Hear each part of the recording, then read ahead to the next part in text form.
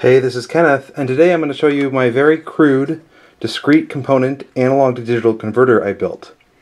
So an analog to digital converter, um, there are many different options, but mine is a basic tracking one. So it consists of three major components. We have the analog input to a comparator. The comparator is then compares this analog signal to this digital signal, which I've then converted back to analog using an R-2R ladder. So each bit of my digital signal gets converted through two resistors and then one resistor of the equal value all the way up, which then gives you the binary weighting of your normal binary numbers into an analog value. So this is essentially a digital to analog converter, which this DAC is compared to the analog input. This comparator then decides whether we are here too high or too low versus the analog input. That feeds back into this counter, and this is a 555 as, um, wired up as just a clock generator. So this is a 555. This is a 74191, which is a 4-bit up-down counter. And then this is just an you know linear tech comparator, although any comparator would work here.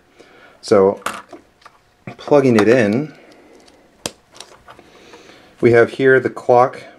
So you can see I have it set fairly slow right now. And then we have two LEDs over here, up and down. Comparator in the input right now is set at about middle. And so as this counter counts up, the comparator keeps saying we're too low.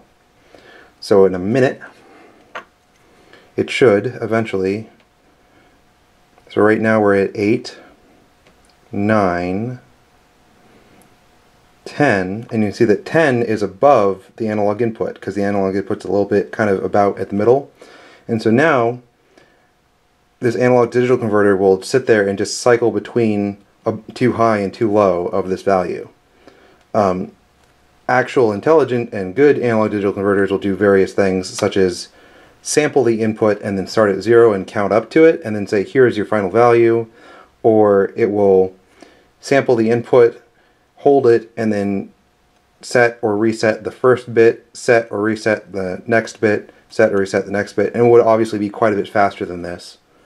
Um, but we can see that as we turn the clock speed up, uh, it's going to track it more, more closely.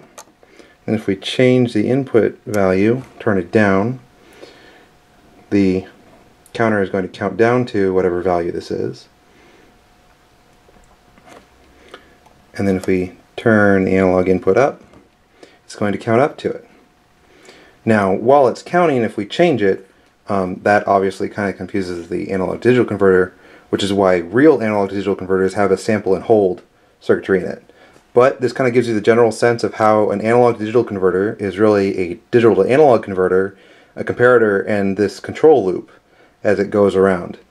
And why analog to digital conversions take some finite amount of time. So real basic intro. Um, obviously they get a lot more complicated, but at that point they don't fit on one 2x3 piece of perf board. Uh, enjoy!